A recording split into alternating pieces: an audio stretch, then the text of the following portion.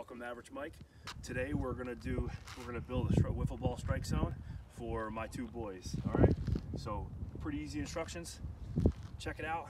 Hang on to the video here, and uh, you'll see how the instruct how how it gets put together, where we can then break it down and travel wherever we want with it.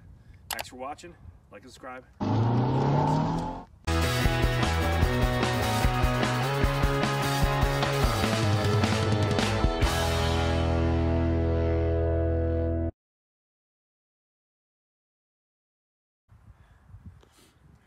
Welcome to Average Mike.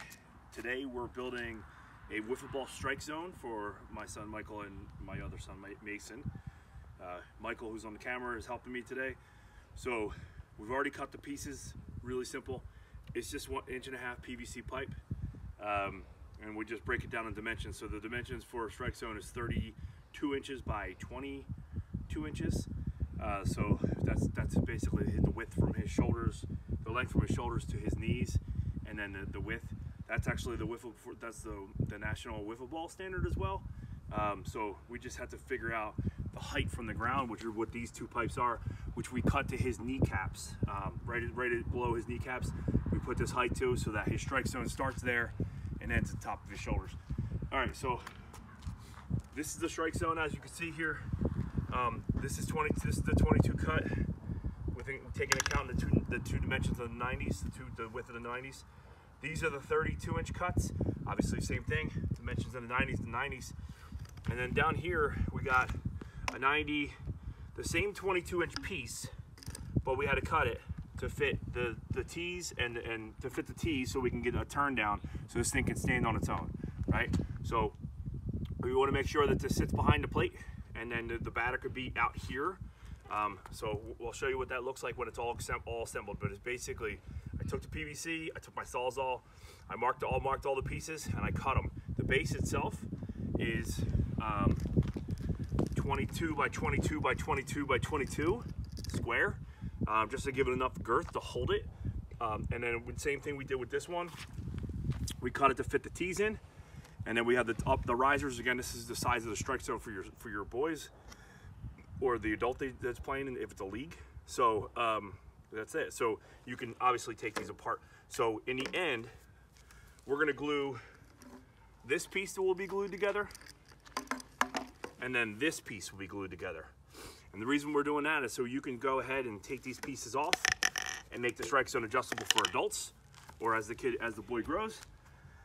And then when you travel, you could just basically have two squares and a couple extra pieces that basically will go anywhere you want. So if you want to take it to the beach, you want to take it to the park, um, anywhere you play, anywhere they play wiffle ball at their friend's house, they just pack it up.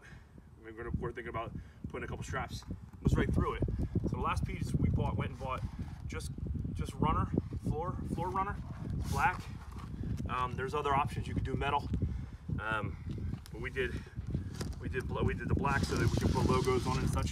So we're gonna go like that. We're gonna zip tie this around those PVC pipes, and then it's gonna be a strike zone. So if the ball hits it, it's a strike. Um, and then again, like I said, we can put logos on it any any which way you want. Um, you see people put metal. That way, there's no argument if you hit the strike zone because you're gonna hear it. Um, so either way, that's a preference kind of thing. You can use fabric, you can use canvas, you can use tarp, whatever you have, you can use that as long as it's stopping the ball, netting, uh, as long as it's stopping the ball and you can hear some sort of sound when it hits uh, for the strike zone. All right, so we're gonna assemble this piece and then we'll be back. All right, so we're finishing the assembly as we talked about in the video, what we were gonna do. Um, some of the pieces are still going to be loose because we didn't glue them yet. We're just dry fitting right now. So as you can see, it's to be wobbly at the joints we were gluing. So, but this is your strike zone. This is what it looks like.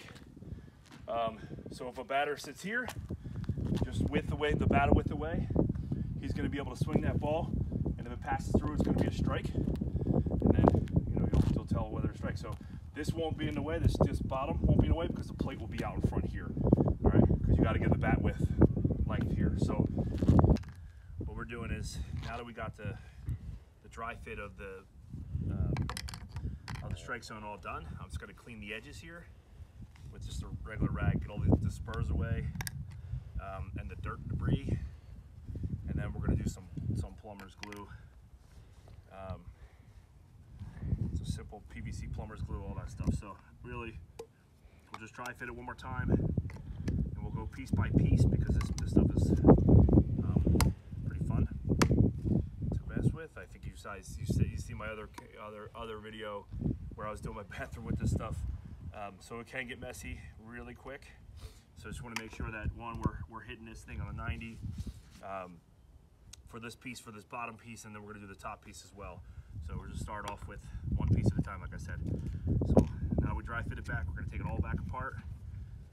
Going to keep it separate to where it is in order, so you can kind of like work all the way down or up, whatever, whatever direction you want to go. So you take the purple cleaner and you clean that out. Right. You take the other side, clean that pipe out. And so we're just gonna put that together for now so it doesn't get dirty again. Because the glue's not on there yet, so we're gonna put the glue. Nasty, nasty stuff. Um,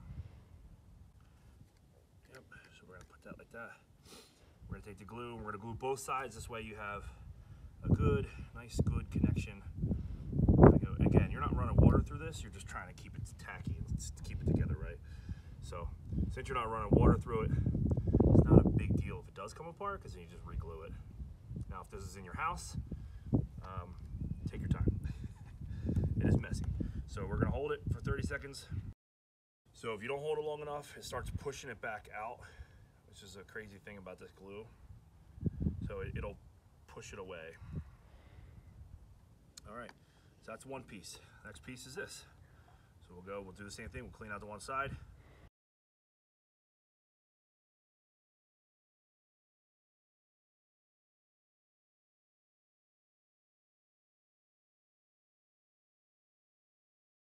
So that was that piece. So that's that piece that's gonna go like this on the bottom. So the reason why we glued this, and we're gonna glue the 90s as well on the end of it, is because when you have this strike zone standing up, it this whole piece just rotates.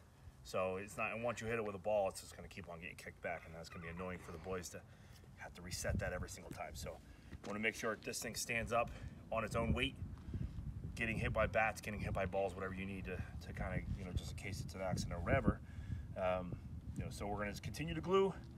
Then we're gonna go to the next piece. We're gonna continue to glue that same, the, the same piece as the bottom bar that has the T's.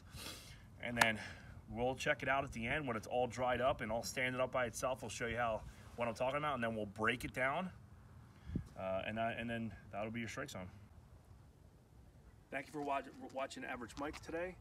Um, we, we completed the wiffle ball strike zone for my sons. Uh, pretty pretty simple. There's the, there's the end product. Uh, we got like I said, we got the pad for the catch the ball for strikes, um, and and we're gonna make it easy enough to break down so we can travel with it. So I'll show you how that easily breaks down. Um, comes off, boom, boom, boom. Two pieces there. The height here, bam, bam. So now you can wrap this up. You can take this anywhere you want to a park. It's it's four parts to it, and that's it. So the one adjustment that you can make is that you can make it uh, uh, for taller kids, or you can make it for shorter kids, right? Depending how, how you want your strike zone, okay? So you just adjust it how you want it, and the strike zone comes down low, like that, or you could flip it around. This is for the, uh, you know, 10 to 13 year old boys. Nice and easy, flip it like that, and now the strike zone height just got raised up to there, right? Fairly simple. This whole thing costs about 40 bucks, 45 dollars total from home from uh, from Home Depot. Uh, and it's all inch and a half PVC. Thank you for watching. Please like and subscribe. Check out our channel. Uh, we're on our path to hit a thousand soon. So like and subscribe, share if you can. I appreciate you watching Average Mike.